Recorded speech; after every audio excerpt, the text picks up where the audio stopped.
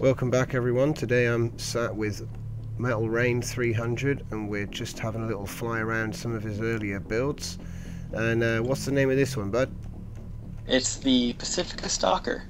Ah, sweet. So this is an early gen. Yes, first generation.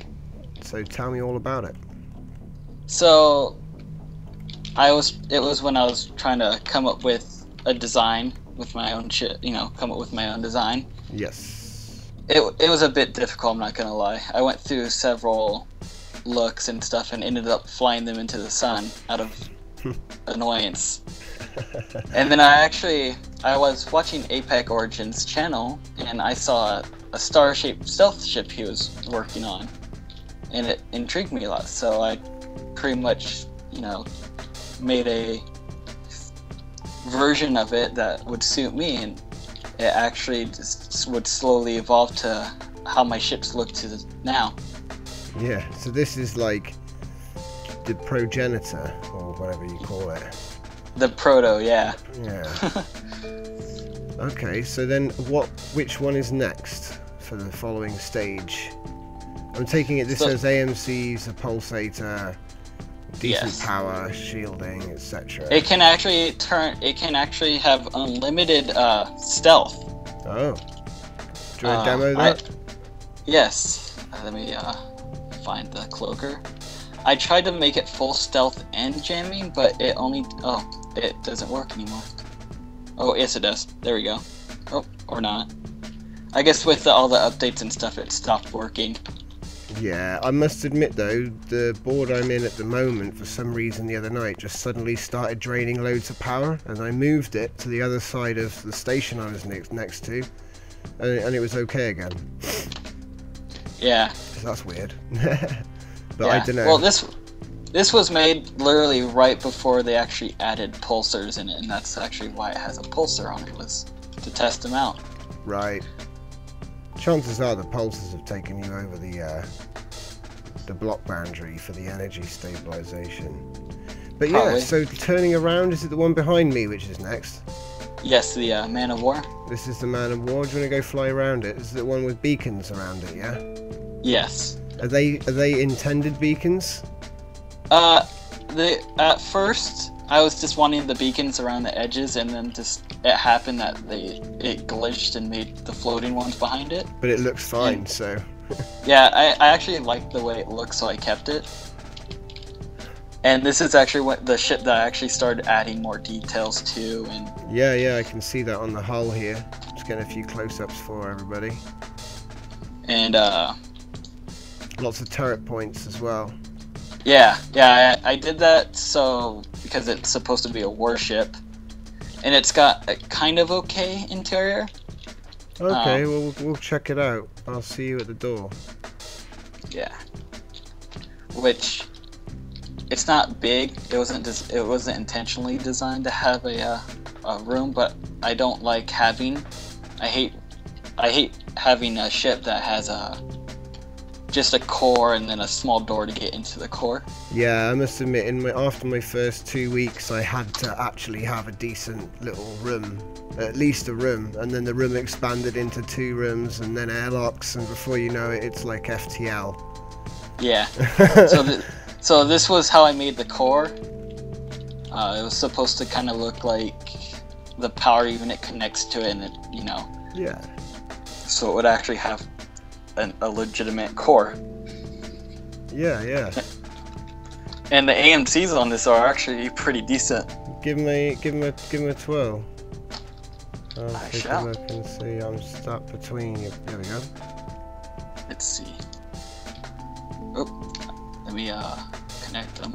This one also has uh pulsars on it too, apparently. Hmm. Which I didn't even know I added them to it. Are you So, firing?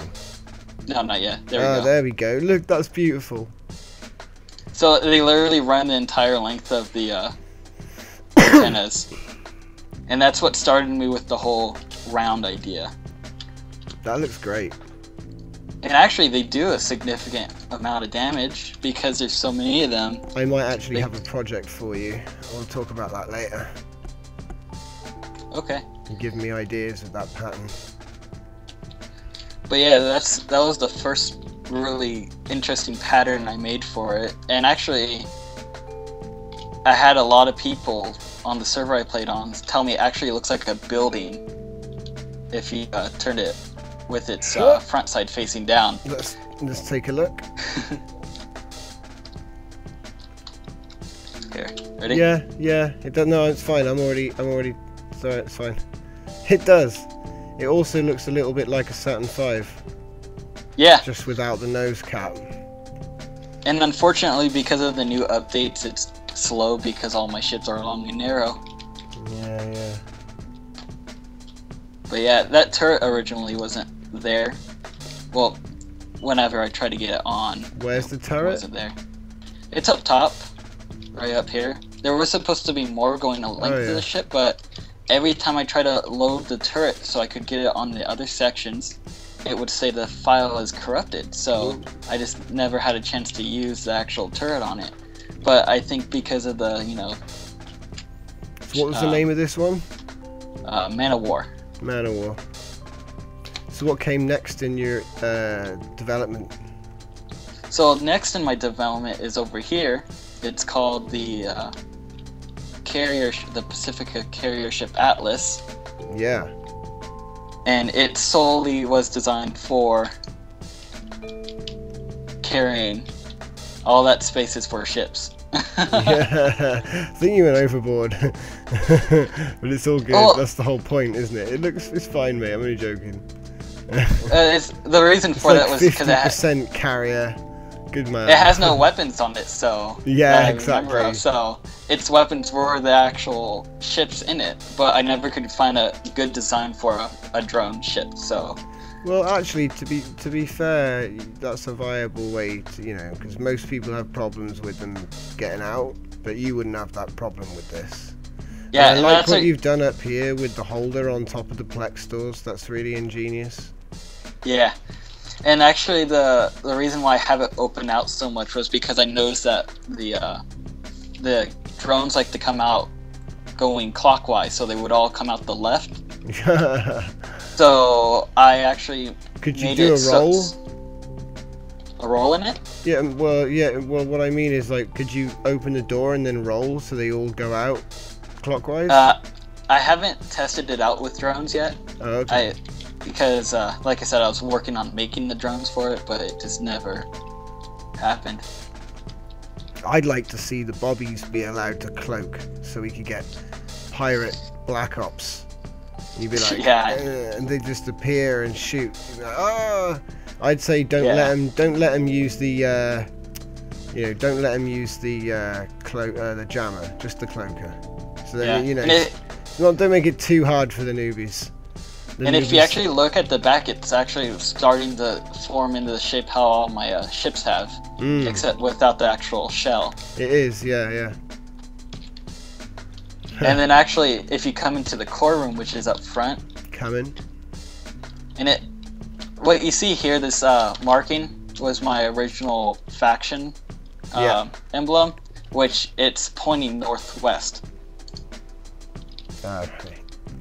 So, because it was, you know, Pacifica, Pacific Northwest. Oop. So this is the core room. Oh, this is These cool. are, oh wait, these are AM, AMC, so Oh, it does this have AMCs cool. in it. This is cool.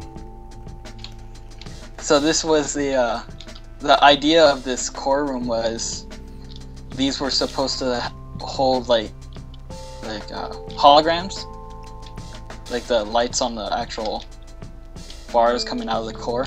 Mm-hmm. and this red one down here is supposed to be kind of like the what was it the war computer so it's kind of like you know GLaDOS how she had the multiple computers on her Mm. the, the ais that's what these uh, are supposed to represent different ais for different systems on the ship Cool. And then I had the one system right here for all my turrets, or not my turrets, my AMCs right down there. I tried to make it simple but also unique. So if you look up top, it has this all blue lighting. Yeah, it is. This is a really nice control room, to be fair. Yeah. Well, that's the purpose as well was keep it open. And then of course there's actually a little walkway right here so you can actually get up to the core. Yeah, Because that's one thing I also noticed that if you want to make a good core room, you actually you have to sacrifice actually being able to go up to the core. And this ship has, I think, one million uh, uh, energy recovery a second. Because actually, the um, these antennas coming out, it's just all where all the power is. So I didn't have to sacrifice too much room for power. And actually, I'm quite curious. Let's check out the weapon system on it because I didn't even know it had a weapon system on it anymore. I'm in position. Go ahead and fire. Oh yeah, that's Straight right. That's down right. the middle. So it had it actually it has the circumference as well, and then I made the the ones that go around the actual circle that go all the way around were Yeah. designed for close range, Yeah, and then those big ones that you see underneath are designed to go a lot farther. And if if you look, you can actually see that. yeah. The speed is quicker. That's interesting. Yeah. Nice. And then that's when you actually, as you saw the uh, Pacifica Capital ship, which you already did the video on that. Mm, that's what led to that. cool, man. And then, of course, that led to the Event Horizon, and which leads us to our next ship, which is a second generation. Let's do it. Okay, so what's this one called, buddy? This ship's called Atlas. Yep. And it's a cargo ship slash um, just all around youth ship. Uh, if you haven't noticed, uh, all I have a theme going on. Blue is a civilian type ship, and red is a war type ship. Right. So that's uh, So you have a system. Yeah. And I might do a green as in, uh, might do a green one for, uh, um, what is it?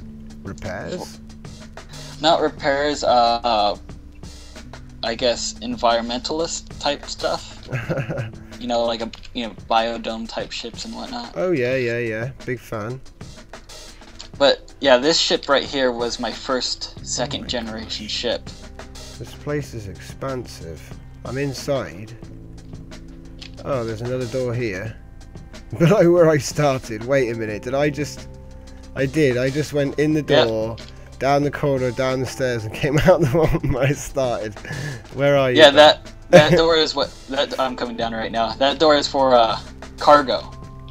So when you dock, you you do the cargo, and that's actually why you see cameras on my um, airlocks. Is because I don't dock with the conventional docking system. I actually make like a little dock, and then I use uh, a white hull. Mm. And what I do is I line up the camera with the light hull, and then you can walk across without you know the complications of a dock. Ah, And just you gotta watch out for collisions with that technique, can't you? Yeah, I, I move it about half an inch out in all directions, so you'll still be able to walk across it without the actual collision. So far, it's been working. This is really So nice. I love it. Yeah. And actually, if you can tell, there's that antenna that you actually see on my bigger ship, Heavy Rain. Oh yeah, yeah, yeah.